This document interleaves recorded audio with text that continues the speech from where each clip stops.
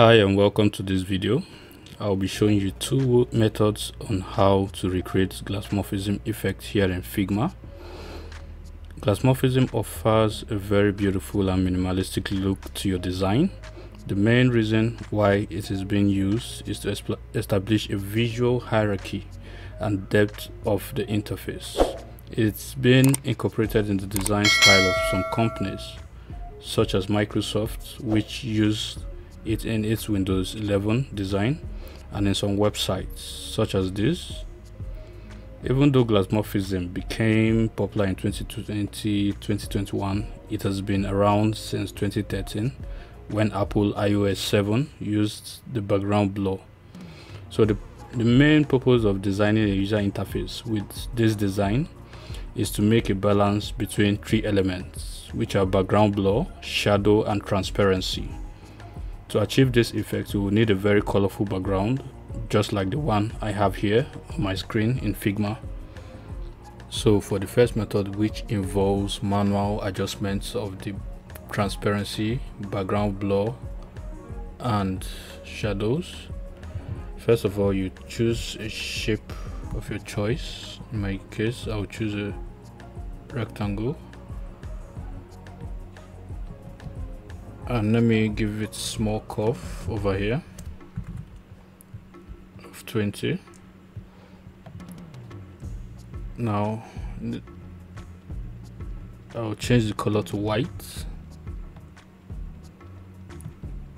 Change it from solid to linear from that drop down menu and adjust the direction of the light that bounces of on and off this rectangle.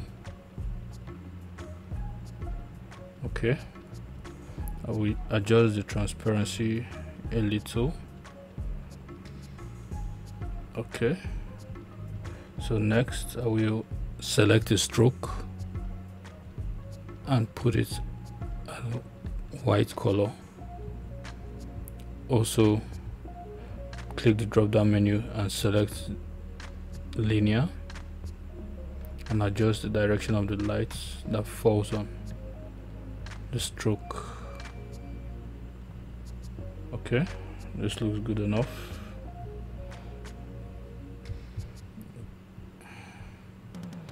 And next we'll add some effects. In um, background blur. So that it will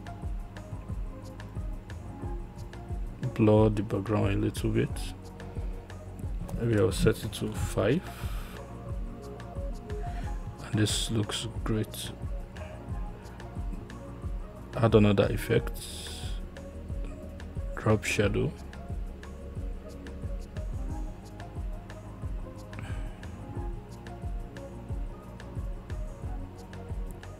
Yeah reduce it to about 15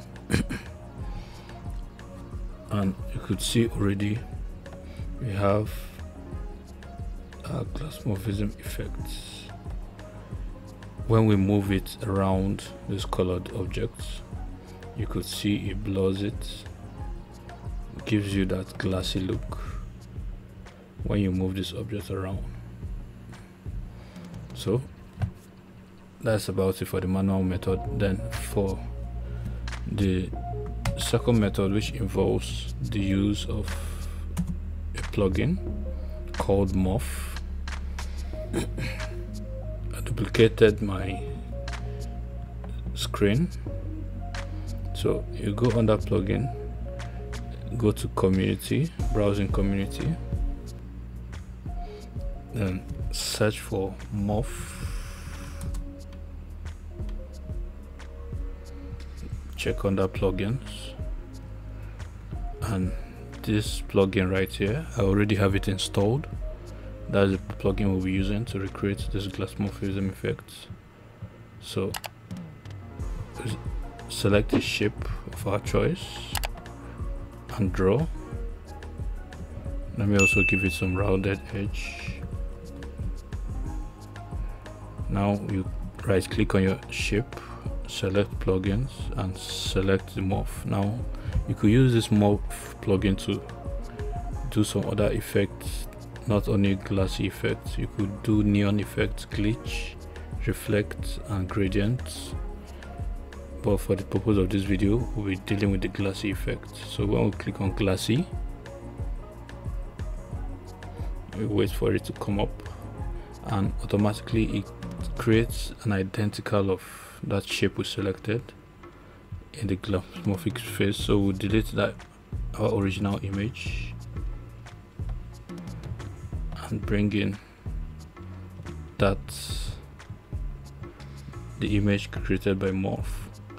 So from this menu you could see we could adjust a lot of things the level of blurriness and the opacity. To our choice we could adjust them to any level we want. We could also adjust the edge surface and apply this to the image. You could see we have gotten a glassmorphic effect. It gives us that blurry blurry effect when we move around with the object. So if you love this video and would want to see more tutorial. Please subscribe to the channel like this video and share. Let's see you in our next video